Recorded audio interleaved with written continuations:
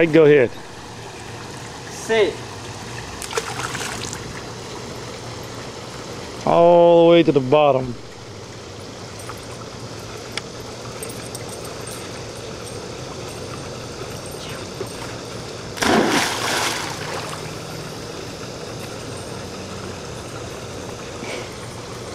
She's swimming her butt off to get down there, huh?